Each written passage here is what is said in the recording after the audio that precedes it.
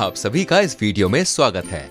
दोस्तों, अभी तक हमने जाना कोशिका की संरचना के बारे में, कोशिकीय आवरण में कोशिका भित्ति और कोशिका झिल्ली के बारे में।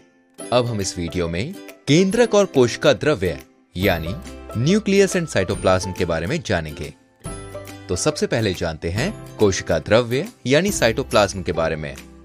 दोस्तों, आपको क्या लगता है कि कोशिका द्रव्य कोशिका में कहा होगा? जी हाँ हम लोग कोशिका संरचना में भी जान चुके हैं कि कोशिका में केंद्रक और प्लाज्मा झिल्ली के बीच में जो भाग है, उसे ही कोशिका द्रव्य कहते हैं। ये एक जैली की तरह तरल पदार्थ होता है। अब सोचिए दोस्तों कि इसके जैली की तरह तरल होने की क्या वजह हो सकती है। जी हाँ दोस्तों इसके जैली की तरह होने की वजह से कोशिका के सभी अंगक, जैसे माइटोकॉन्ड्रिया, गोल्जी उपकरण लवसोम आदि, इसी कोशिका द्रव्य में तैरते रहते हैं। और इन कोशिका अंगकों की जरूरतमंद प्रोटीन इसी में तैरते हुए उन तक पहुँचती है। ये कोशिका की बनावट को ही बनाए रखता है। इसमें वो सभी रासायनिक क्रियाएँ होती हैं, जिससे कोशिका जीवित रहती है। चलिए, अब हम केंद्रक के बारे में जानेंगे। केंद्रक, यानी न्यूक्लियस। पादप और जंतु, दोनों कोशिकाओं में जो बीचों बीच गोलाकार चीज़ है ना, दोस्तों आपको क्या लगता है? वो क्या है? जी हाँ वही केंद्रक है। यह कोशिका का केंद्र है, जहाँ से सभी चीज़ें निर्देशित की जाती होंगी। दोस्तों, जिस तरह से हमारे शरीर में मस्तिष्क, शरीर की सभी प्रक्रियाओं जैसे श्वसन, पाचन, उत्सर्जन, देखना, चलना और सुनना आदि को निर्देशित और नियंत्रित करता है, उसी तरह से कोशिका का केंद्रक कोशिका की सभी प्रक्रियाओं को निर्देशित और नियंत्रित करता है।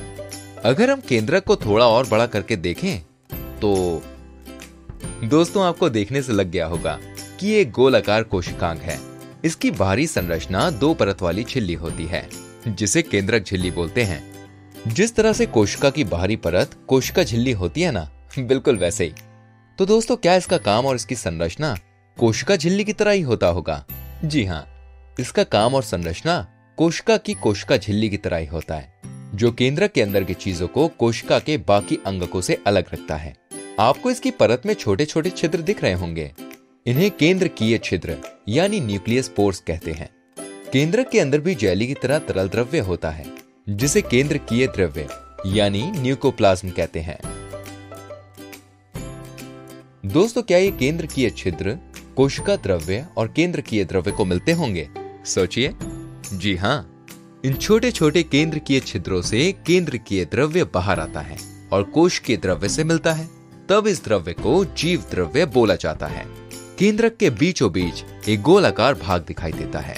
उसे केंद्र का, यानी न्यूक्लियोलस कहते हैं। अब हम केंद्रक के कार्य के बारे में जानेंगे। वैसे तो आप लोग केंद्र कार्य को समझ ही चुके होंगे कि एक कोशिका हेडक्वार्टर है, जो सभी चयापचय गतिविधियाँ, यानी मेटाबॉलिक एक्टिविटीज़ जैसे ऊर्जा का निर्माण आदि को नियंत्रण, यानी कंट्रोल और निर्देशित करता है। ये कोशिकाओं के संपूर्ण विकास और संपूर्ण परिपक्वन यानी मैच्योर को निर्धारित करता है। ये कोशिकाओं के प्रजनन में भी बहुत ही महत्वपूर्ण योगदान देता है। तो दोस्तों, आपको ये जानकर मन में सवाल आ रहा होगा कि क्या कोशिका में भी प्रजनन होता है? है ना? जी हाँ। दोस्तों, कोशिकाओं में भी प्रजनन होता है। इसमें एक कोशिका विभाजित होकर दो नई कोशिकाओं का निर्माण करती है। इस तरह से कोशिका प्रजनन से जो नई कोशिका बनती है ना उसमें सूचनाएँ और निर्देश केंद्रक के ज़रिए ही जाते हैं। चलिए, इसे समझते हैं।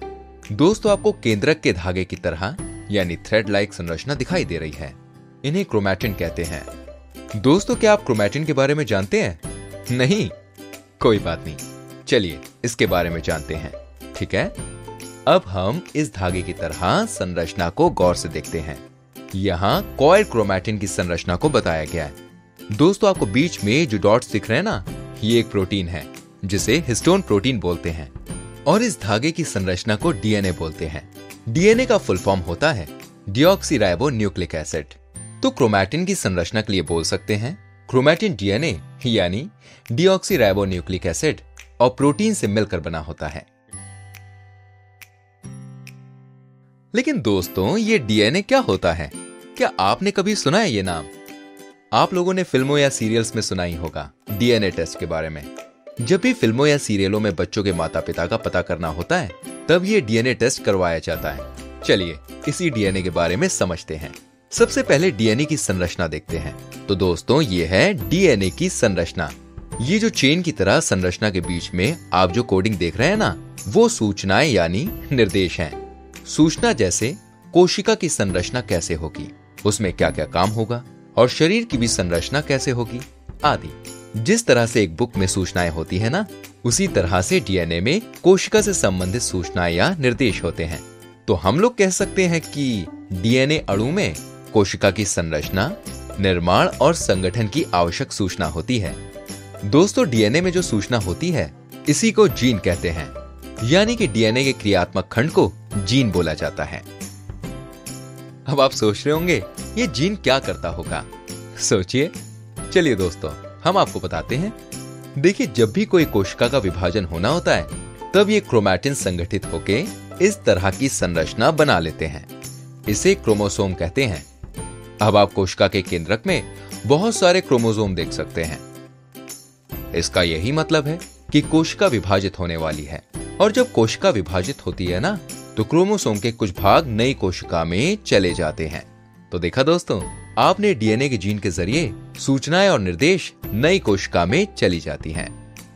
तो कह सकते हैं कि वंशानुक्रम में सूचना डीएनए के जीन के ज़रिए जाती है। इस तरह बच्चों में माता पिता से सूचनाएँ या निर्देश डीएनए के जीन के ज़रिए आते हैं। अब दोस्तों, आपको यह भी पता चल गया होगा कि फ़िल्मों या सीरियल्स में डीएनए टेस्ट करवाने से क्या होता है है ना? यही केंद्रक और उसके कार्य हैं। अब दोस्तों ये समझेंगे, केंद्र की एक क्षेत्र उपस्थिति के आधार पर कोशिका के प्रकार। लेकिन ये केंद्र की एक क्षेत्र क्या होता है? चलिए, इसे भी समझते हैं। दोस्तों, कुछ जीव जैसे कि बैक्टीरिया, इनमें केंद्र की एक क्षेत्र सही से नहीं होता है। यानी इनमें केंद्र का झिल्ली नहीं होती है, सिर्फ़ क्रोमैटिन ही होता है, जिसे केंद्र काय कहते हैं। और ऐसे जीवों को प्रोकैरियोट कहते हैं। उन कोशिका को प्रोकैरियोटिक कोशिका यानी प्रोकैरियोटिक सेल कहते हैं। प्रोकैरियोट का मतलब है प्रो आदि या पूर्व। कैरियोट केंद्रक और इन कोशिकाओं में ज़्यादातर कोशिका अंगक नहीं होते हैं। और दोस्तों, जिन कोशिका में केंद्रक झिल्ली पाई जाती है ना, उन्हें यूकैरियोटिक कोशिका यानी यूकैरियोटिक सेल कहते हैं। और इनमें सभी कोशिका अंगक होते हैं, जैसे पादप कोशिका और जंतु कोशिका। सारांश। तो दोस्तों, हमने इस वीडियो में कोशिका द्रव्य और केंद्रक के बारे में जाना। कोशिका द्रव्य एक जैली की तरह तरल पदार्थ है, जिसमें सभी कोशिका अंगक तैरते हैं और केंद्रक में उपस्थित डीएनए में कोशिका से संबंधित सूचनाएँ होती हैं। और ये सूचनाएँ जीन के ज़रिए नई कोशिकाओं में जाती हैं। कोशिकाओं में केंद्र की एक क्षेत्र में झिल्ली की उपस्थिति के आधार पर दो तरीके की कोशिकाएँ होती हैं। पहली, प्रोकैरियोटिक कोशिका, यानी प्रोकैरियोटिक सेल। दूसरी यूकैरियोटिक कोशिका यानी यूकैरियोटिक सेल आगे हम कोशिका अंगकों के बारे में जानेंगे।